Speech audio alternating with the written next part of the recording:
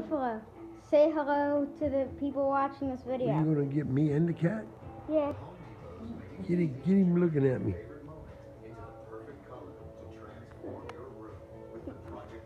What TV show are you watching? Mountain Men. Frankie, are you enjoying this? He's enjoying that petting. He's liking it, boy.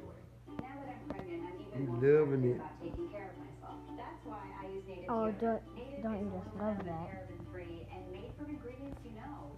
Native He loves it. 5,000 five-star reviews. Shop now at nativedeodorant.com. Actually, maybe maybe you should uh, read this book I made for you. I I- just read it. No, I added a couple more pages. Here, read it. Read it out Oh, loud to come the on. people watching. Ah, you scared him away. Oh, he got the cat on there.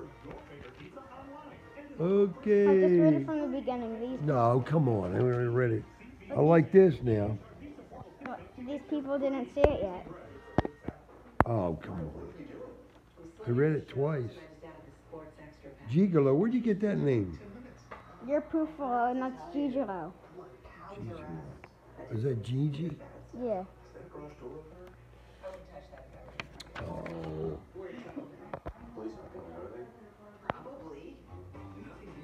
Working on, and that's a flying saucer, another Yeah. one. And what is this table here? This table right here. What's that? The one on the TV, see it? Oh, oh, yeah, yeah, yeah. Oh, yeah. Okay.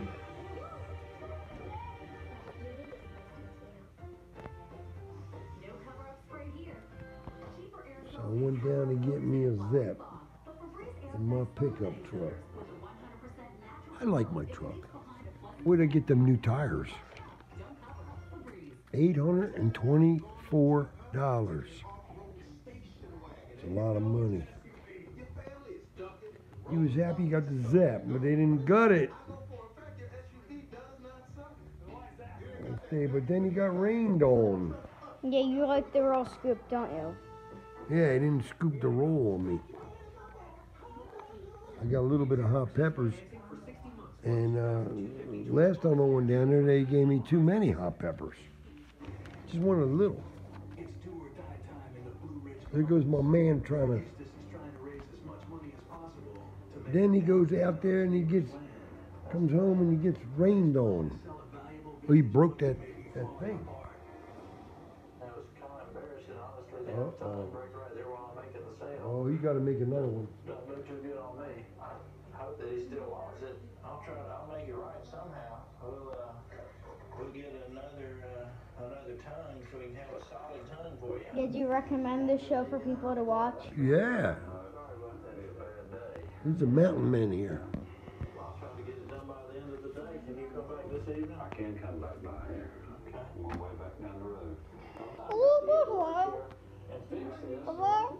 so that he's happy with it. 'Cause Hello? if he's not happy with it, out the back. I'm not gonna go away with two Hello? thousand dollars a day, I need that What? for land. Throw out the. The broken shaft is an essential component that connects Come on, let's watch axle to the TV. horse's. To replace it, use What are you what doing?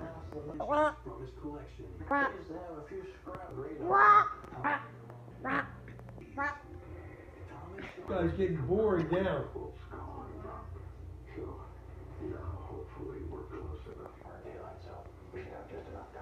you got him. session in here. Even if they're not hungry, Quack. they might come to see you. Oh, Buffalo. Quack, quack, quack. Do you want to say goodbye now?